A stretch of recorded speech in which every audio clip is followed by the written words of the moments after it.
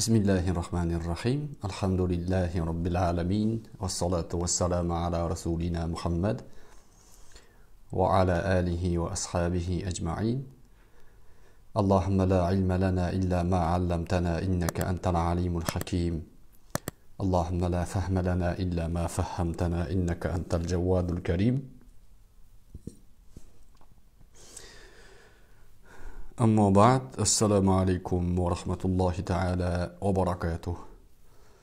Aziz qadrdon birodarlar karantin muddatining e, bugungi kunlarida yana siz aziz birodarlar bilan yuzma yuz ko'rishib turibmiz.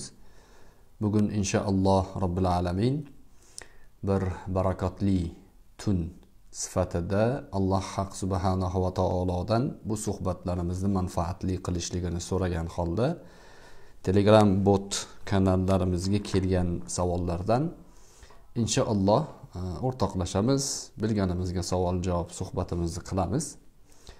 Orada keyin ba'zi e, tajribalarni qilib ko'rish rejam bor.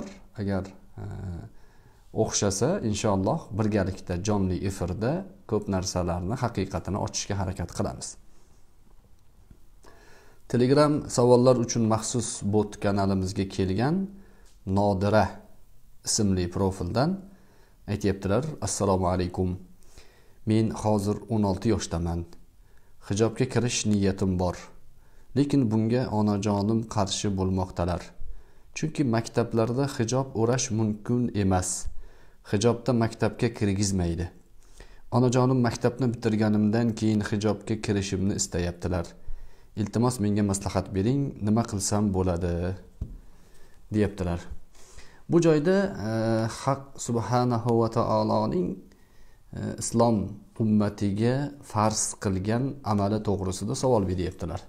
Va singlimizni bilganim qadar e'tiqodlari va alloh buyurgan buyruqni qilishga bo'lgan ishtiyoqlari mavjud.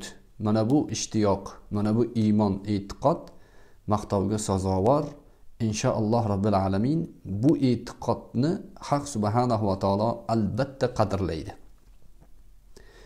Alloh subhanahu va taolo qur'oni karim hadisi shariflar orqali islom ummatiga nimani buyurgan bo'lsa u buyruq har doim ham qarshilikka uchramaydi bemalol amal qilib yuraverishlik degan e, osonlik bilan buyruq bo'lmagan.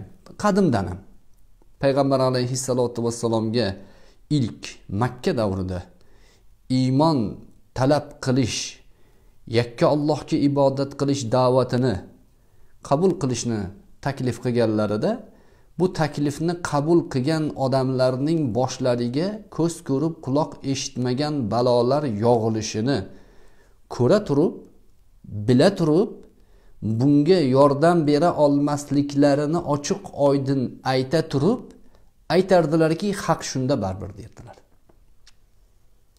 Siyosiy bosim har turli vaziyatlarga ko'ra inson ba'zi amallarni qilolmay qolishligi bu amallarni qiling degan odamni unga yordam berolmay qolishligi o'sha odamning aybi emas balki olloh buyurgan buyruqlarning o'ziga yarasha imtihonlari borligiga dalolat qiladi. Biz albatta masalan manga e, inshaalloh robbil alamin shu kungacha va bundan keyin ham haq subhanahu va taolodan har doim yordam so'rayman. Haq subhanahu va taolo tillarimizdan haqni joriy qilsin qalblarimizni haqqa sobit bo'lishligini nasib qilsin. Hijob farz. Alloh subhanahu va taolo balog'atga yetgan qizlarimizni yuzlari kaftlari ikkita oyoqlaridan boshqa joylarini berkitishlikni farz qilgan. Buning farz ekanligi tortishiladigan masala emas. Endi bu farziyatni amalga oshirishda uchragan to'siqlarga qanday muomala qilsak bo'ladi degan savolni beryaptilar. Nodira singlimiz. Bu singlimizga birinchi to'siq e, onalari tomonidan bo'lyapti ekan. Onalarga tushuntirish kerak aytish kerak. Bu ollohni buyrug'i sizga ham savob bo'ladi bizga ham savob bo'ladi. Qiz o'zini onasiga nisbatan beodobona gapirmasdan olloh buyurgan buyruqlar ichida ro'mol o'rashlik hijob o'rashlik farz bo'lishi bilan birga ota onaga yaxshi muomala qilish ham farz. Bu farzni qilaman deb ota onaga muomala go'zal muomala qilishlikni e, ya'ni ibtol qilib fosit qilib qo'ymaslik kerak. Bu farzni bajaraman ikkinchi farz oyog'i osmondan bo'lib ketmaslik kerak. Ikkala farzni ham bajarish kerak. Endi onangiz sizni gapingizga e, ya'ni gapingizni olmayapti o'ramaysan deb turibdi. Bunaqa o'rinda nima qilinadi? Dadangizdan iltimos qilib ko'rasiz. Dadangiz onangizga tushuntirishligiga yo'l qidirasiz. Uni ham iloji bo'lmadi. Nima qilinadi? Unda onangiz gapini qabul qilishi mumkin bo'lgan dugonalari bordir opalari bordir tanishlari bordir o'shalar orqali vaziyatni to'g'ri tushuntirishga harakat qilish kerak. Bunaqa vaziyatda onalarga ham nasihat qiladigan odamlar chiqishi kerak. O'sha atroflarda mahallalarda u qizni yon atrofidagilar akalari bordir boshqa kimdir bordir bular onaga tushuntirish kerak. Singlimiz yoki bu qizingiz o'zini ixtiyori bilan ya'ni kimdir bosim bilan uni majburlab o'ratmayapti ro'molini hijobini o'ramoqchi. O'rasin deyish kerak. Albatta ba'zida bunaqa onalarda qiziga nisbatan yomon Э, tashqaridan tashqari э, tushunmovchilik э, ruhiyatida muhitida shakllanib qolgan ro'mol o'ragan qizlarimizni har turli oqimlarga mansub deyishlikka urinadigan jamoa odamlar ham bor. O'shalarning xataridan himoya qilaman deb ham ona o'zining qiziga nisbatan bunga o'xshagan narsalarni ehtiyotini qilgisi keladi. Endi bunaqa vaziyatda yana muammo ikkinchi bir muammo. Ko'chada bo'layotgan e, hijob o'ragan qizlarimizga bo'layotgan munosabatga ham qo'limizdan kelgancha islohiga harakat qilishimiz kerak. To'g'ri chiroyli muomala qilib qaysi jamiyatda yashayotgan bo'lsak ham o'sha jamiyatning qonuni bo'yicha hijob o'rab yurishlikning e, jinoyat emasligini qonunan bo'lsada haqqimizni talab qila olishimiz kerak. Talab qiling haqqingizni qonun jihatidan e, aslida qonuniy madaniy suratda talab qilinsa u haqqi bor. Endi bu onaning e, gapiga kirgizolmadik e, qiz o'zini ixtiyoridan chiqib ketdi. Uni majburlab yechib tashlashdi. Bunaqa paytda inshaalloh robbil alamin imkoniyat topolmagani uchun qiz gunohkor bo'lmaydi. Chunki hijobni farz deb bilib turibdi. Qo'lidan kelgan hamma amallarni qilib turibdi. U ko'chada ham uyda ham maktabda ham nima bo'lsa ham shuni o'rayman deyaptiyu buning imkoniyatidan chiqib ketdi endi. Ona o'rattirmayapti ko'chada aytgan joyga yurolmayapti shunaqa vaziyatda. Inshaalloh robbil alamin mm, mana shu e'tiqoddagi shu xohishdagi qizlarga gunoh bo'lmaydi. Chunki u istiror muztar vaziyatda. Bu degani man mustar ekanman majbur ekanman deb yuraverishligini taqozo qilmaydi. Imkon topgan zahoti yana ro'molini hijobini o'raydi.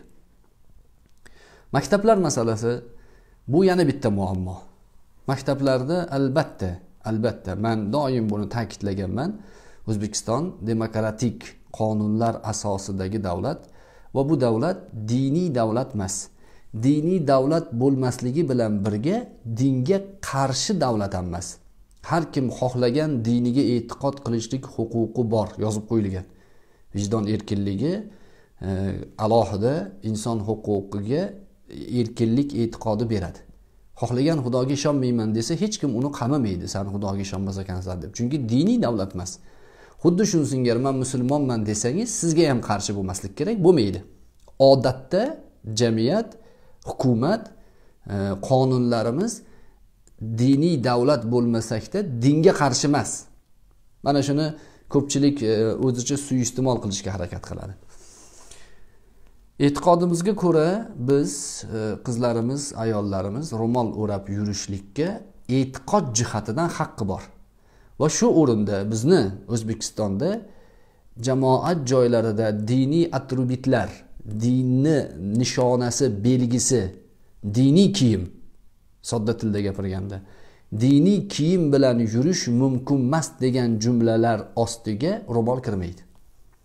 Ya'ni ro'mol diniy kiyim emas. Bu mavzuni o'sha bugungi jamiyatga tegishli qismi. Ro'mol musulmonlarning axloqiy kiyimlaridan uni kiyish haqlari bor. Jamoat joylarida ro'molda yursalar u ro'mol u ayollarimizni e, diniy kiyim bilan jamoat joyida yuribdi degan ayblovga sabab bo'lmasligi kerak. Chunki ro'mol diniy kiyim emas. Diniy qo'mita ham bu haqida xulosasini bergan diniy idora ham buning xulosasini bergan. Ro'mol bir insonning axloqiy kiyimi. Xosatan bizni milliy kiyimlarimizdan. O'zbeklarni milliy kiyimi ro'mol. Erkaklarimiz do'ppi kiygan milliy kiyim sifatida ayollarimiz ro'mol o'ragan.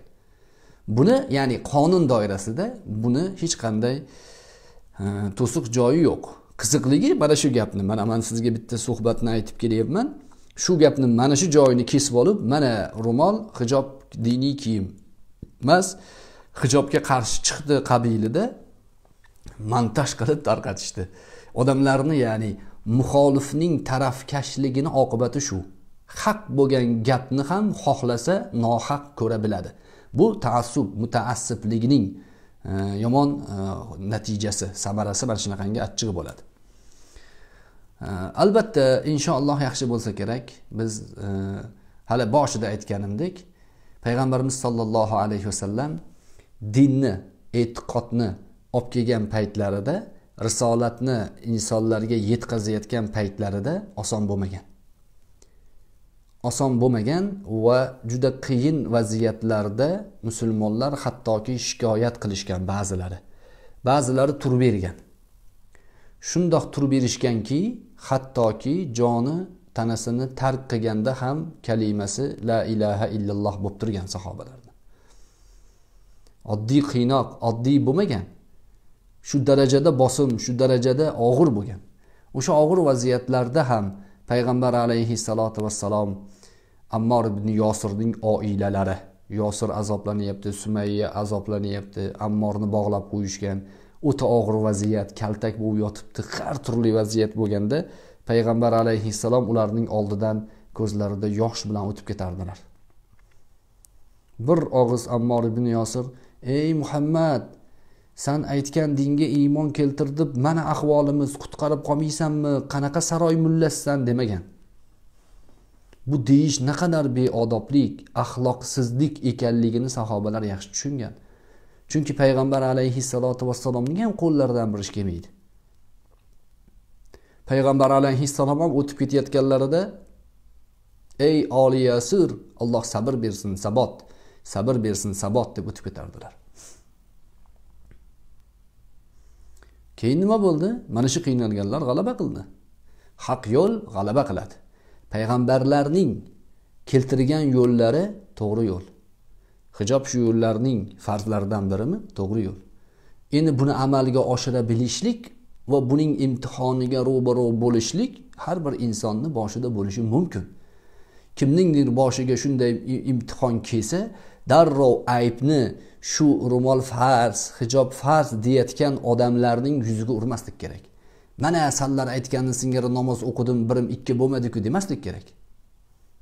Bu sof e'tiqod emas samimiy e'tiqod emas. Bu qalbda yashiringan shirk deydi ulamolar. Insonni qalbida allohga tavhid bo'lishi kerak. Allohni yakka deb bilish kerak. Yaxshilik ham yomonlik ham allohdan deb bilish kerak. Qilayotgan amallarining savobini ollohdan umid qilish kerak. Qilayotgan amallariga hisobni ollohga beraman deyish kerak. Namoz o'qisam ishim yaxshi bo'lib ketarkan deyish shirk bu. Maxfiy shirklardan. Namozni olloh uchun o'qimayaptida bu. Nima uchun o'qiyapti? Ishi yaxshi bo'lib ketishlik uchun o'qiyapti. Bu to'g'ri emas. Payg'ambar alayhissalotu vassalomga ergashgan odamlar o'ta ojiz odamlar edi. Kuchli zabardast odamlar sanoqli edi. Sanoqli abu bakr siddiq roziyallohu anhuning uchta to'rtta o'rtoqlari iymonga kelgan ellik oltmishga yaqin ojizlar qullar hech narsasi yo'qlar iymonga kelgan edi. Ular faqat azobga o'yin kulgiga odamlarning masxarasiga sabab o'shalar o'yin kulgi qilishligiga o'yinchoq bo'lishligiga e, musoada bo'lgan odamlar edi. Ularni xohlagan ishni qilishardi uning orqasidan keladigan odami yo'q. Robbimolloh degani uchun azoblanishardi xolos. Shunda payg'ambar alayhissalotu vassalomning ajoyib hadislari bor. Aytganlarki badaal islamu g'oriban va sayaudu kama badaa g'oriban tubo lil g'uroba islom g'ariblik bilan boshlandi. Islomning boshlanishligi ojiz odamlar tomonidan qabul qilindi. O'shaning uchun kibri bor qalbida ya'ni haqqa ergashishlikni o'zi xohlagan joydan qidirmoqchi bo'lgan. Man aytgan joyda haq bo'lishi kerak. Nimaga bu muhammad payg'ambar bo'ladi? Undan ko'ra falon qabilaning falon odami payg'ambar bo'lgan deydi. O'shanga ergashardim deydigan kibrli zodagonlar mutrafullar maishatparastlar ergashmadi. Ojiz odamlar ergashdi. Ojizlarki himoyachisi ham yo'q edi. Qul bilol iymonga kelgan uning xo'jayini utba kofir mushrik. O'zini xo'jayini bilolni issiq kunda jazirama tuproqqa yotqizib ustidan tosh bostirib qo'yardi. Alloh ahad degani uchun. Bilal roziyallohu anhuga nima deyilsa ham javob bermasdan nima derdilar? Ahad ahad derdilar. Himoyachisi yo'q. Himoya qilaman deb imkon qidirib harakat qilishardi. Abu bakr siddiq roziyallohu anhu bir kun keldilarda ey utba sotasanmi qulingni dedilar. Yo sotmayman dedi. Qancha bersang beraman dedi. Keyin qarasalar urib yotibdi. Ya'ni u anavi utba urib yotibdi bilolni qaytadigan emas baribir bunga foyda bermaydi. Bo'pti dedida ikki barobar narx aytdi oddiy qulning narxi yuz dirham bo'lsa ikki yuz dirham dedi. Abu bakr siddiq roziyallohu anhu sanab berdilar. Bilolni sotib oldilar ozod qildilar. Bu bilan alloh taolo u kishiga bir nusrat keltirdi. Qutuldilar sahobalarning sahobalarning dinga bo'lgan amallaridagi ixloslari shu darajada edi nabiy sollallohu alayhi vasallam dunyoni tashlab ketganlaridan keyin bilol roziyallohu anhu madinai munavvarada azon chaqirolmay qolganlar. Azon aytishga yuraklari chidam dosh berolmay qolardi. Yig'lab yuborardilar muhammad rasulullohga kelsalar. Ozonni oxiriga yetkazolmay qolardilar. Keyin madinada yasholmay qoldilar. Yuraklariga sig'masdan hijrat qilib ketdilar shom diyorlariga. Bir necha muddatdan keyin shomdan qaytib kelganlarida hazrati bilolni imom hasan imom husayn roziyallohu anhular peshvoz chiqarib rosa xursand bo'lishdi. Ozon ayting deyishdi. Keyin hijolat qildilar aytolmayman. Shunda abu bakr siddiq roziyallohu anhu ayting deb xuddi majburlaganroq biroz yuqoriroq pardadan ozon ayting deganlarida ey abu bakr dedilar meni ozod qilgan paytingizda xohlagan gapimni qildiraman deb ozod qilganmidingiz? Shuning uchun bo'lsa aytayin dedilar. Olloh uchun ozod qilganman sizni desangiz manga buyruq qilmang dedilar. Shunda abu bakr aytdilarki yo alloh uchun qilganman seni. Ya'ni abu bakr siddiq roziyallohu anhu bilolni sotib olar ekanlar ozod qilar ekanlar ollohning roziligi turgan edi. Birodarlar shu bugun mana jamiyatimizda har turli savollar bo'ladi va bizni jamiyatimizdagi muammolarimizni yechimi inshaalloh asta asta borarmiz lekin shu muammolarning mavjudligidan foydalanib bittasi ukrainada bittasi boshqa joyda o'tirib olib musulmonlarga tashlashadi. Biz aybdordik xuddi go'yo biz aybdordik yo'q o'sha singillarimizga ham ularning oilalariga ham boshqalarga ham aytamizki hijob farz. To'sqinliklar muammolar bo'lsa aytamizki bu muammolar hijobning farziyatini soqit qilmaydi. Hijob farzligicha qoladi. buni tushuntirishimiz asta asta sabr bilan borishimiz kerak. Inshaalloh o'rniga tushadi. Xullas e, singlimiz to'g'risidagi e, mavzuga alohida javobimizni berdik. Subhanakallohumma va bihamdik. Nashhadu an la ilaha illa anta va nastag'firuk va natubu ilayk. Va axiru da'vana anil hamdulillahi robbil alamin. Assalomu alaykum va rahmatullohi taala va barakatuh.